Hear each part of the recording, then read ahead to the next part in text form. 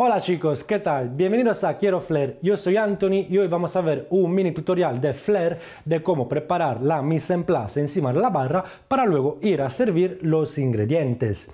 Por favor, me gustaría que fueras a ver la descripción de mis vídeos, que entraras en mis redes sociales como puede ser Instagram o Facebook y dejarme tu teléfono privado en mi buzón de entrada para luego yo añadirte a una lista de difusión de Quiero Flair donde podremos tener un trato más personalizado, estar siempre actualizado a los nuevos vídeos que vamos a subir y sobre todo escuchar tu opinión.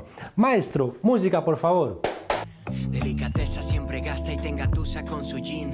Tonic removido, no agitado, cuerpo slim. Crónico sonido de metal, siempre frío si se agita con estilo. El movimiento de Flair que vamos a ver es el siguiente.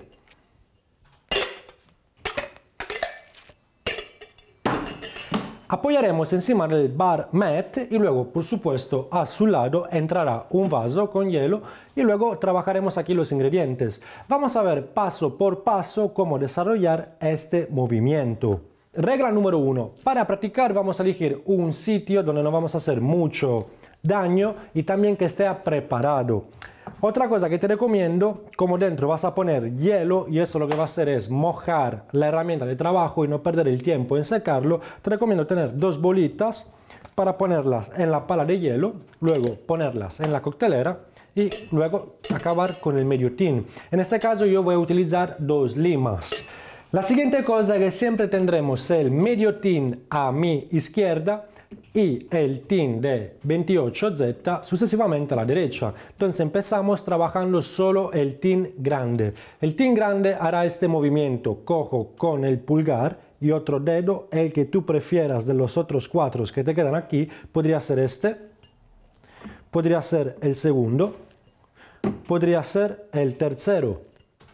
Vamos a buscar la manera de crear una rotación hacia a mi derecha donde el culo, la parte baja del tin, va girando encima del pulgar para luego sucesivamente volver a cogerla con uno de estos cuatro dedos, el que tú quieras. Vamos a darle un poquito de rapidez. Vamos a verlo en slow motion. Una vez que hayas logrado hacer este movimiento con la mano izquierda, simplemente para empezar, porque me imagino que no seas ambidiestro, vamos a coger el tin pequeño con un forend. Cuando te digo forend, te hablo de coger las cosas de esta manera. Y si te digo backend, te digo de esta forma. Entonces empezamos cogiendo en forend el medio tin y logramos hacer esta vuelta con el tin de 28 o Z. Vamos a verlo en slow motion.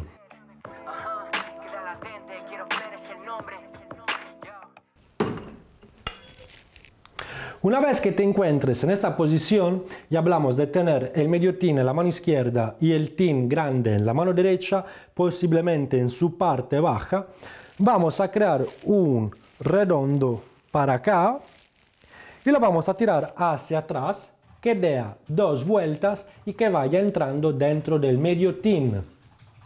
Así, por ejemplo, ¿no? Vamos a verlo en slow motion. Vuelta, parte baja, hacia atrás.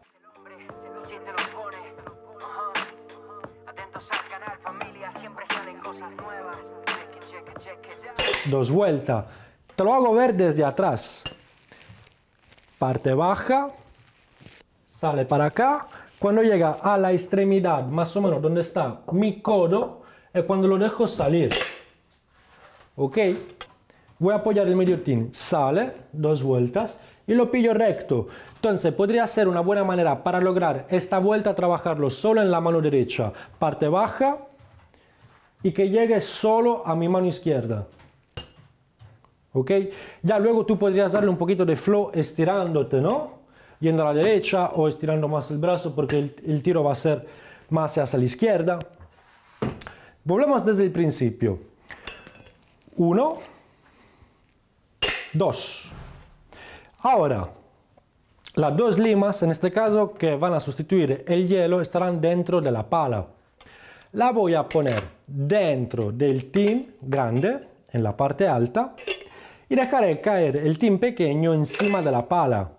Daré una vuelta, alargaré el brazo izquierdo y empujaré el medio tin pequeño para que llegue a mi mano izquierda de manera recto.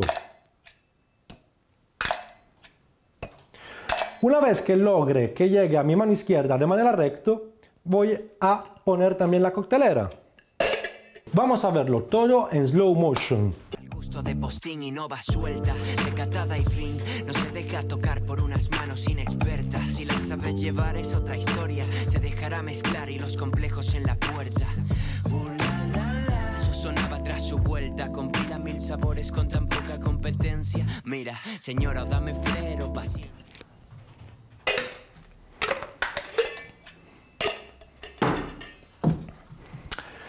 Bueno, esto va a ser el primer tutorial rápido y básico de cómo crear una pequeña mise en place. A este movimiento también podemos crearles miles de variantes. Si te gustaría ver más variantes sobre este movimiento o algún tipo de tips eh, específico, me gustaría que me lo fueras a comentar en los comentarios aquí abajo.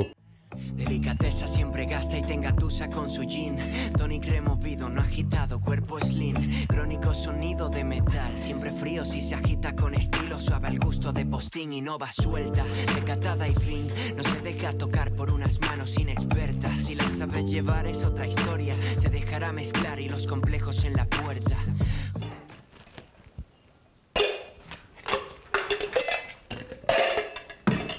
Bueno, si el video te ha gustado, dame tu like. Si el video no te ha gustado, igualmente dame tu like. Por favor, activa la campanita de YouTube para estar siempre actualizado a los nuevos videos que vamos a subir.